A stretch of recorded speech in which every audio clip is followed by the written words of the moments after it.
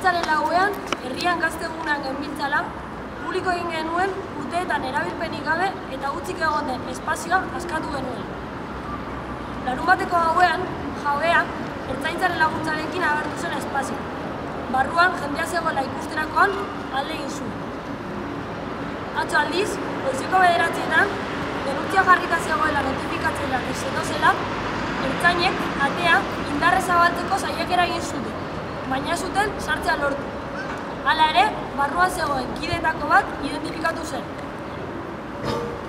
Ertzainek alegin eta gero, amaiketan, auzolanarekin jarraitu genuen. Espazioa garbitu eta atontzen aritu ginen. Eguerdian, ertzantzak agertu zen berriz. Espazio azkean zeuden kide guztiak identifikatzeko aginduarekin. Ikusita, barrutik ezela inorrerez aterako, espaziotik sartu edo irteten den edozen pertsona identifikatuko zutela mehatxatu gintuzte. Arratsaldean, espazio azkearen kanpoaldean, asamblea irekian, hogeita mar pertsonatik gora geundela, eguneko hirugarren aldiz gerturatu ziren ertzainak. Orain honetan ere, ere, barruan geunden, kiden identifikazio esketorri ziren. Eta bestela, sartu zein irteten den edozein kide identifikatuko zutela azaldu zuten. Une horretan, kanpoaldean zeuden bi kide identifikatu ziren eta alde egin zuten.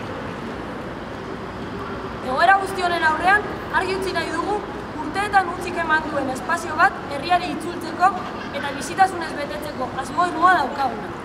Gure proiektu propioak egikaritu, elkartasunen oinarritutako harremanak eraiki eta langile klasearen topagune izango den espazio bat sortuko du.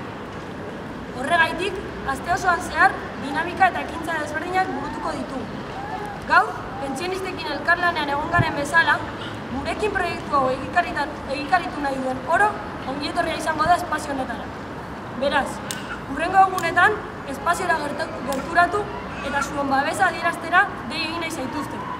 Horretarako baita ere, egunero, arratzaldeko sortzietan egingo den asambleetara gonbidatu nahi zaituzte. Gora galdakau da gaztetxean!